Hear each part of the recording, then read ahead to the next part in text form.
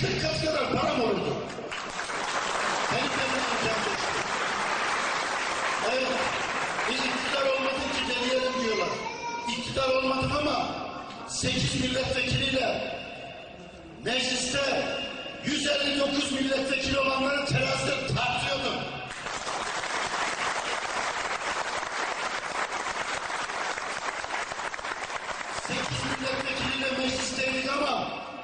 Zamanında 129 milletvekili olanları terazide tartıyorduk. Sekiz milletvekilimiz vardı ama herkesin deliye girdiği, fare gibi girdiği sırada orta yerde biz vardık adam gibi.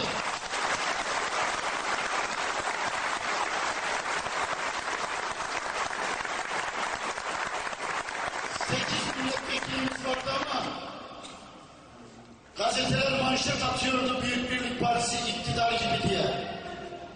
Yeri geldiğinde ana muhalefet görevi yapıyor diye manşet atılıyordu. Evet, iktidar olmadık. Evet, grubumuz da hiç olmadı. Millet bize ne grup verdi, ne iktidar verdi. Ama biz dolaylı da olsa elde etmiş olduğumuz 7-8 milletvekiliyle milletin verdiği gücü heba etmedik. Milletin verdiği imkanı boşa çıkartmadık. 8'i 80 gibi yaptık. Yeni geldi herkes fıstı ama biz adam gibi durduk. İşte duruş oydu.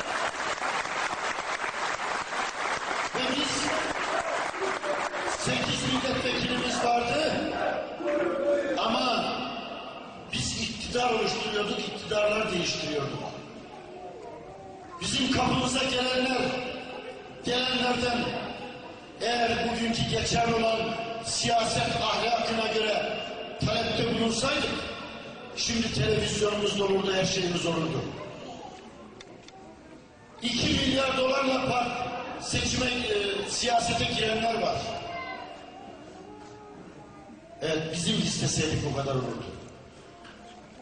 Niye olmadı Yazıcıoğlu? Keşke yapsaydın diyenler var bana.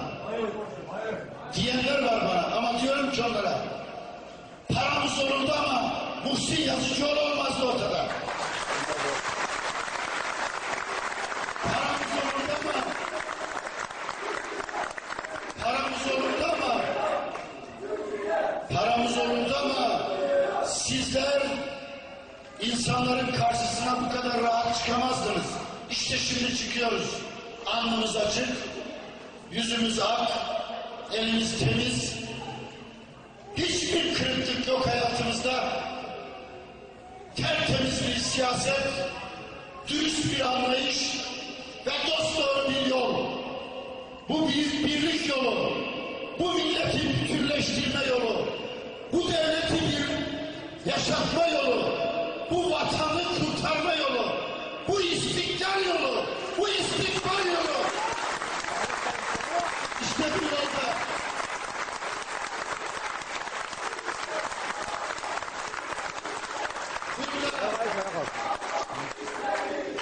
Bu yolculukta hırsızlara yer yok. Bu yolculukta rüşvetçilere yer yok. Bu yolda hortumculara yer yok. Bu yolda böleklere yer yok. Bu yolda hainlere yer yok. Bu yolda bölücülere yer yok. Teröristlere yer, yer yok. Burada Allah bir dava bir diyenler var. Tertemiz yol.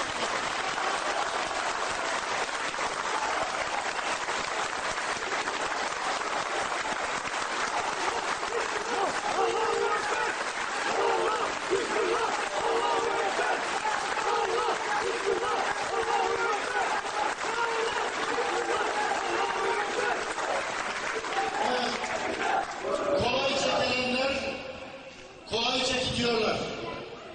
İşte geldiler. Bugün konuşma zamanı bizim. Muhsin Yazıcıoğlu'nun yeterli gücü yoktur diyerek, barajı problem ederek, doğruluğumu da suçlayarak işte bu iktidarı kurmuş olanlara, kurdurmuş olanlara, destek olanlara söylüyorum. Allah'ın Resulü buyuruyor ki beni bir ayet ihtiyarlattı. Nedir diye sorulunca Hud suresinde emredildiğin gibi dost doğrulu ayeti diyor. Buyuruyor.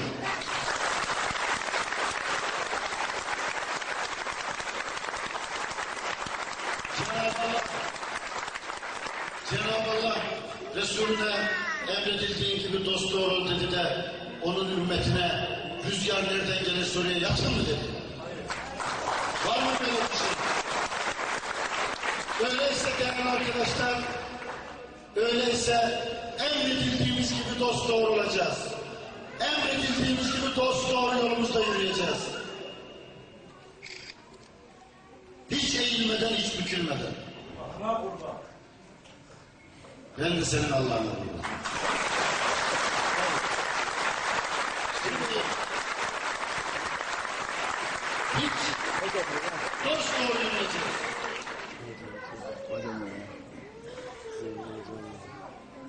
Bugünkü iktidar bir kere daha bu milletin ümitlerini söndürdü.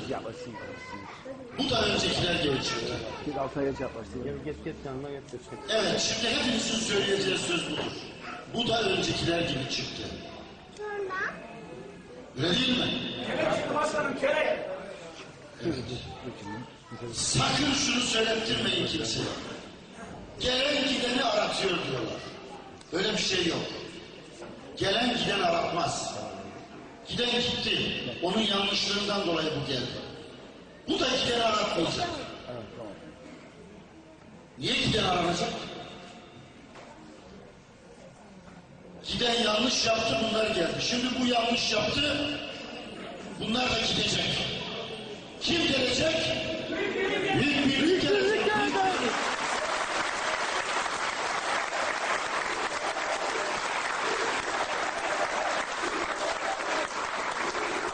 Şimdi gelen gideni aratmayacak. Gelen büyük birliği aratacak. Büyük birlik aranacak, büyük birlik bulunacak. Şu işe bakın. İmam Hatipler sırf İmam Hatipli olmaktan dolayı 30 puanları çiziliyor. Meslek liselerinin 30 puanı çiziliyor. Bu beyler diyor ki bu haksızlar